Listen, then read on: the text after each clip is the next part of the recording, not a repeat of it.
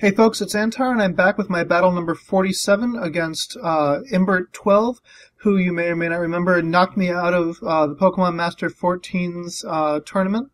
Anyway, I'm using the same team I used against him the last time, and he's using a different team that he used in a different tournament, um, which was two OUs, two UUs, two NUs, I think. Um, anyway, so I don't know if this is necessarily the fairest matchup, but it is what it is. So anyway, I start off with Stella, and I'm going to go ahead and um, Brave Bird him. I'm just not sure. I've never seen Magmortar. Um, I don't really see Magmortar too much, and I really have no idea what he's going to do. Anyway, Brave Bird does not take him out in one hit, but it comes really, really close. Um, that's kind of a shame. Um, but I got hit by a huge amount of recoil plus the life orb damage. Yeah, I've take I've since taken that life orb up. The reason I put that life orb on to begin with was so I could enter that uh, the Pokemon Master 14's tournament because he has item clause. Um, but uh, I forgot that Stella can carry Black Sludge, which is the same thing as leftovers. Uh, so anyway, uh, Stella is down, and I'm sending out Tux in instead. Uh, Tux has a Focus Sash, so no matter what he does, I'm not particularly scared. Um, and so I'm going to go ahead and set up. Um, Thunderbolt does not take me out um, or get me down to the uh, to the focus sash threshold, so I'm able to set up with Stealth Rock, uh, which is going to help me later in the battle. Um, and I'm going to go ahead and finish him off with Aqua Jet. Um, so go, Tux goes ahead and uses Aqua Jet. I'm pretty grateful he didn't switch out, and I've taken out his Magmortar. So uh, that, as they say, is that. Um, little delay while Magmortar faints and uh, he sends out for his next Pokemon, uh, Jolteon. So, you know, Jolteon's probably going to use an electric type attack, and uh, I want to save Tux for later, so I'm going to go ahead and switch to Foopaloop, my Mamoswine, who will be able to take any electric type attacks. Um, this is assuming that he's not predicting my switch and, uh, you know, has something else in mind. Um, you know, I do this move quite a lot, and it's pretty effective. Um, but uh, as you can see, it, you know, he did not predict my switch, uh, and so I am good. Um, and I'm going to go ahead and hit him with Earthquake. I don't think he's going to switch out himself, but I don't actually know. Actually, we know that's right. That's right. I think he is going to switch out. So um, I instead do Rock Slide because I figure, you know, it's pretty obvious what I'm going to do at this point. So he would be stupid not to switch out. So he does switch out, and I predicted that switch so well. He sends out Dragonite. Um, who, you know, wouldn't have taken an earthquake, but instead is going to take a super effective rock slide, which boosted by my choice band is enough to take it out. So I've taken out his Dragonite before his Dragonite's even had a chance to attack.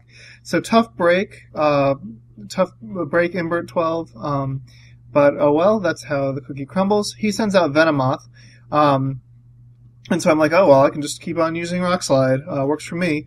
Um, he goes ahead and uses Sleep Powder, and he's faster, so uh, Foopaloop is put to sleep. Oh well. So I'm gonna have to switch that, uh, switch him out. Um, actually, no, that's not true. I decided to keep him in because I figure, what's, what's he gonna do that's gonna hurt me? And so, turns out he's gonna use Bug Buzz, which does a whole lot of damage thanks to his Life Orb. I didn't really think that, um, Venomoth had that uh, much attacking power. But anyway, at this point I got to switch out. I almost switched to Mick to wake him up, but that would have been a stupid move. Um, Stab, uh, super effective Bug Buzz, might have even taken out Mick in a single hit. But luckily, I um, thought better of it and switched to Pazuzu, who will resist the hit.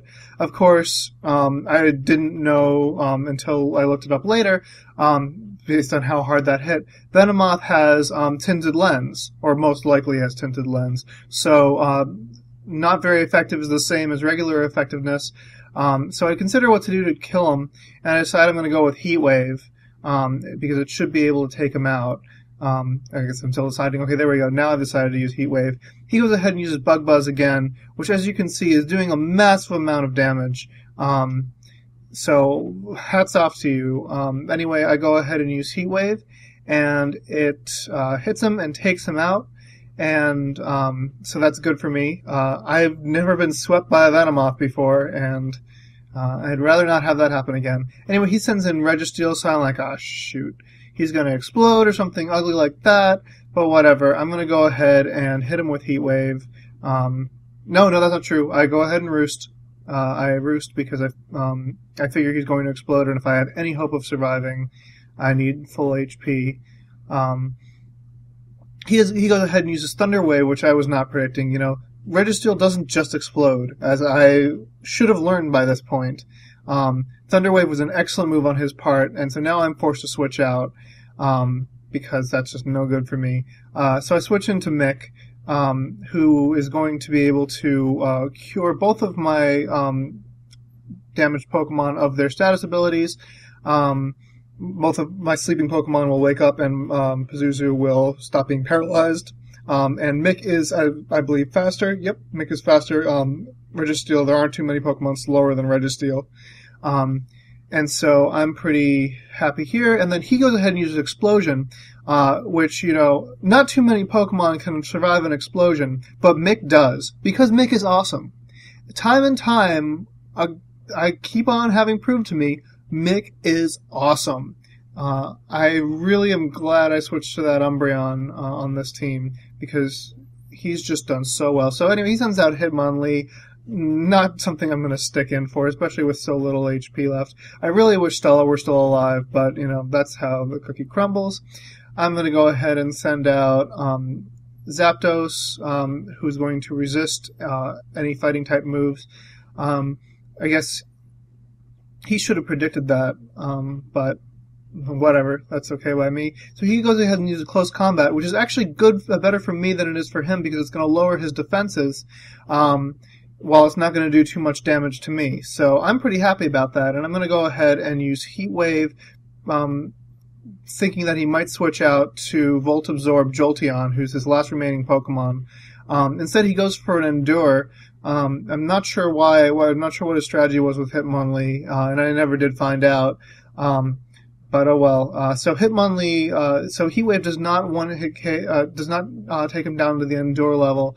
Um, so he goes ahead and uses Endure again, but it's very unlikely, I guess like 50% likely that Endure will succeed a second time. I get the crit, but you know, that's not exactly a real crit. It didn't, you know, really matter. Um, so I take out Hitmonlee, and now he's down to his last Pokemon. Um, so, it's Jolteon. I'm pretty sure I can just stop, you know, whatever he dishes out, I can I can take. Uh, I've got pretty high HP. Heat Wave is going to keep doing damage, and you know, he goes ahead and uses Shadow Ball. Um, he would have been better off using Thunderbolt. Um, I guess he was wait- hoping my defenses would drop, um, but Thunderbolt is neutral just as uh, Shadow Ball is, uh, and it would have gotten the stab. Um, and has higher base power, I think. Anyway, so I'm going to take him out, except for um, you know, I'm not predicting this Thunderbolt's going to be able to kill me, except for he gets the crit, uh, and that did matter. So uh, Pazuzu is taken down, um, but I've still got you know a whole bunch of Pokemon to choose from, and his Jolteon is down to its last leg. So I have two Pokemon that can use priority moves, plus Jirachi who can outrun him with the Choice Scarf. So I go ahead and send out Foopaloop to go ahead and use priority Ice Shard. Just why the heck not? Um, Foopaloop uses Ice Shard, takes out Jolteon uh, with a crit that didn't matter uh, and I've won the match. So um, again, this wasn't exactly fair because, as I said, I, you know, I'm using six OU level Pokemon, and he's uh, hampered by some tournament rules, so wasn't exactly fair. But anyway, hope you enjoyed the match. Comment, rate, subscribe, and challenge. So long.